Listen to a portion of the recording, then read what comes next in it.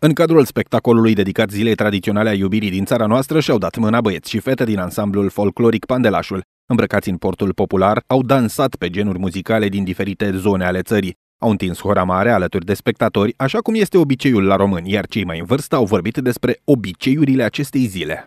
sărbătoarea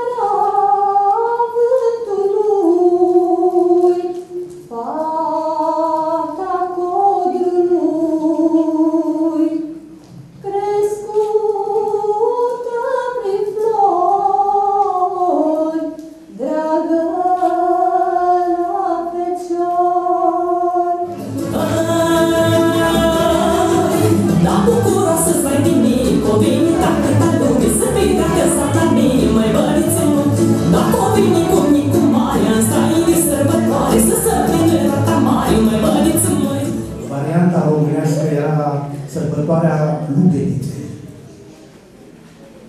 Iată acum alt, altceva. Sărbătorită din uh, moș moși, cum se spune, o variantă românească care era binevenită și a uh, anunțat și sfârșitul uh, iernii, începerea lucrărilor de primăvară și așa mai departe.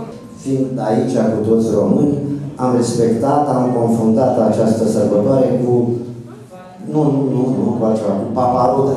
Acea, acea perioadă, dar era mult mai târzie, mult mai târzie, care avea un alt uh, mod de exprimare față de ploi, față de alte, alte lucruri. Dar, în orice caz, fiind român, trebuie să iubim mai mult dragobetele decât vale dai. Sărbătoarea de primăvară, în care toți tinerii se adunau la horă, acolo, acolo în sat, de jur împrejur, pe marginea de erau cei în vârstă, noi copii printre ei, asta, sigur că am început sărbătoarea ca tare cu busurile, cu plin de verdeață, cu tot și era un fel de anunț al începerii primăverii și al începerii muncilor agricole, fiind de la țară. Sigur că da, se ruga să înceapă uh, ploile, să înceapă campania și își doreau recolte bogate. Evenimentul s-a încheiat cu tradiționala periniță, despre care se spune că este dansul dragostei și al sărutului.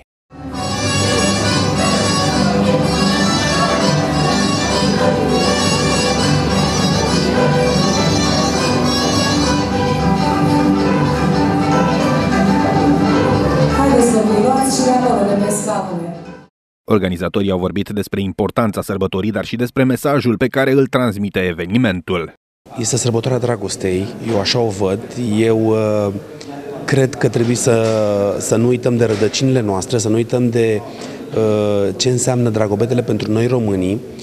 Uh, din păcate, ca o paranteză, în Dobrogea nu se prea respectă tradiția așa cum se respectă în multe părți din, din, din această țară. Dau două exemple, Ardeal, uh, Moldova și exemplele pot fi multe. Și atunci noi, dobrogenii, care am fost tot timpul cotropiți și războiți și într-o, într-o dezbinare de asta așa ca istorie, să nu uităm de rădăcinile noastre, de traci, de daci, de ce nu, și că tocmai de acolo vine această sărbătoare și că dacă mai nou în, în cotidian confundăm 14 februarie cu 24, îl păstrăm și pe cel din 14, dar să nu uităm de, de, de ziua noastră, ziua noastră a românilor din toată țara, ziua de 24 februarie. Aceste tradiții, care sunt pur românești, îi face, le creează copiilor și le formează dragostea pentru obiceiurile noastre, pentru poporul nostru, pentru locurile de unde se trag ei, din cauza asta.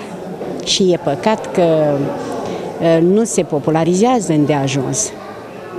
Totodată îi mulțumesc din suflet domnului Florin Oprică și domnului Crișu, pentru că știu că dumnealor au ajutat foarte mult la acest, la acest eveniment. Ne-am propus și ne propunem de fapt în, prin acest eveniment să readucem acest obicei la suprafață, pentru că el este de când lumea și pământul, strămoșii noștri l-au sărbătorit, bunicii noștri, părinții noștri, și este un prilej de mare bucurie. Este o sărbătoare. Fără acest eveniment, noi în ziua de astăzi nu am putea să vorbim unii cu alții, pentru că, într-adevăr, la țară el uh, se legau logodnele cu asemenea ocazie uh, și este un lucru deosebit de important.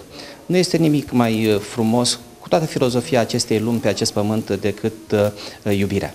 Sărbătoarea de Dragobete are o simbolistică bogată și interesantă, îngemânează în esența sa atât începutul cât și sfârșitul. Este vorba despre începutul unui nou anotimp al reînsuflețirii naturii. De asemenea, vorbim despre sfârșitul desfătărilor lumești, deoarece începe postul sfânt al Paștelui.